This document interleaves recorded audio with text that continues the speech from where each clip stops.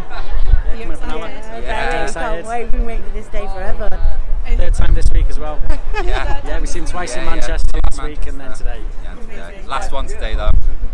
So, uh, what are you most looking forward to? Uh, really, yeah, yeah. Nostalgia. The nostalgia. nostalgia. 90s nostalgia. Yeah. And favourite spice girl? Sporty Spice, too sporty.